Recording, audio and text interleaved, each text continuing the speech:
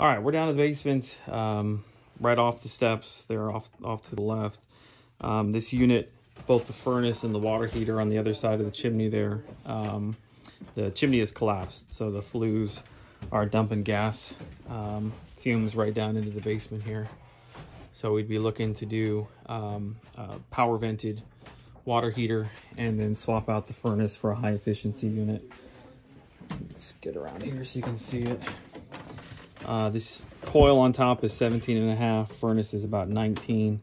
Uh, I think it's 50, 52 inches tall, something like that. Uh, the return, there's a there's a big um, floor return right at the top of the stairs here.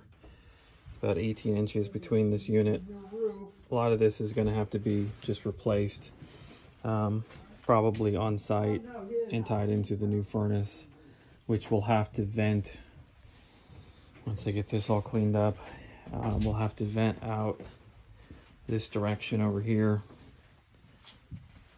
Uh, it's the left side of the house as you pull up.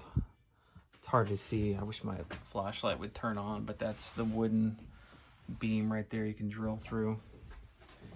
Um, it's difficult for me to get around to show you the other side.